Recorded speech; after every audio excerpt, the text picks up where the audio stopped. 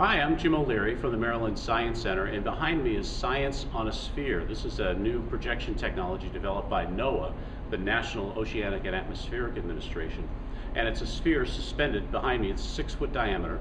And there are four projectors around the room that project onto the sphere and give us three-dimensional images of the Earth, planets in space, and different aspects of the Earth, oceans, atmosphere. We can see close to real-time things happening on the Earth, like thunderstorms and hurricanes, volcanic eruptions, um, and uh, things that are happening in the news. So it's something we use for public programs, for school programs, and it really brings science uh, to our audiences in a very different kind of environment. So on the sphere, we have a, a, selection of literally hundreds of different data sets. These are images taken by NASA satellites, by NOAA satellites orbiting the Earth. Uh, they're also taken by satellites that have gone on to visit the planets Mars, Jupiter, and Saturn. So we have a whole set of data sets from the planets in our solar system as well. One of the more interesting ones that we use a lot is this particular one here. And this shows the Earth at night. These are the night lights of Earth as seen from space. So what we can do is, is uh, turn the Earth in different ways and show where the, the, the, lights of Earth shine into space. And this is compiled from literally, I think it's 300 separate images from a uh, meteorological satellite program. And what it shows are all the populated places on the planet. So you can see the eastern seaboard of the United States. You can pick out Baltimore and Washington. You can see the island of Puerto Rico, which is uh, brightly lit up. And even crisscrossing the United States, you can see lines connecting the cities, and these are actually the interstate highways and all the lights that border the interstate highways. So as we go through the different countries, Japan is brightly lit, South Korea, Israel, you can see lights along the Nile River. So it's a pretty dramatic set of uh, images that shows us how the Earth is developed by human activity.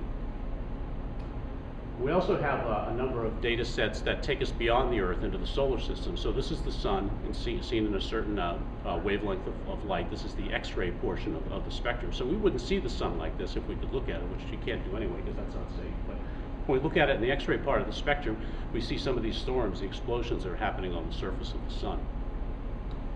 We can also take us uh, take visitors uh, to other parts of the solar system. So when we look at um, our closest neighbor in space, the moon, we see the moon that we're familiar with in, uh, in the night sky. So as it rotates here, and the moon does do that, it rotates on a daily basis and it also orbits the Earth, but it always keeps the same face toward us.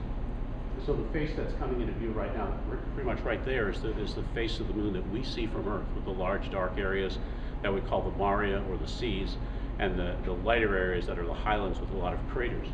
But as the moon rotates, one of the things we can notice here is that just now coming into view is that part of the moon that we can't see from Earth. Since that part of the moon keeps its uh, side faced away from us as it moves around the Earth, this part of the moon has day and night just like the rest of the moon does and the Earth does, but we can't see it. And as we turn the moon around and as it rotates, we can notice, and we show our visitors this, how the moon is uh, very, very different on the far side than it is on the near side facing us. So it talks about, we can talk about how the moon has evolved and why the moon looks different on the near side and the far side. One of the more interesting places to, to look at is Mars because we've been we've sent many probes to Mars and we often think of Mars as a place where there could be signs of life. Perhaps microbes uh, live there today or there could be fossils of life that we found from, from uh, past Mars. These are things we want to investigate and find out. We haven't found any of that yet. But we do know that Mars has a history that had an awful lot of water on it in the past.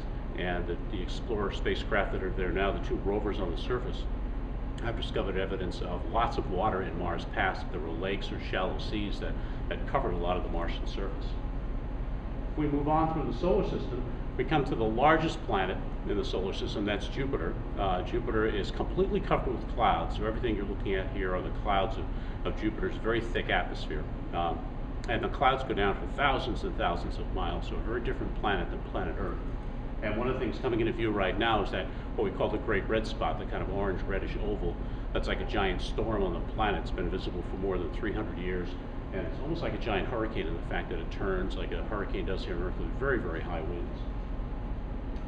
One planet that's perhaps not so recognizable when we look at it um, in, in, different colors is Jupiter itself. This is an image from the New Horizons spacecraft, which was uh, manufactured, built, and it's managed here in Maryland at Johns Hopkins Applied Physics Laboratory. It's on its way to Pluto, as it passed by Jupiter, it took images of uh, the planet uh, Jupiter, which allows us to see Jupiter on an ongoing basis.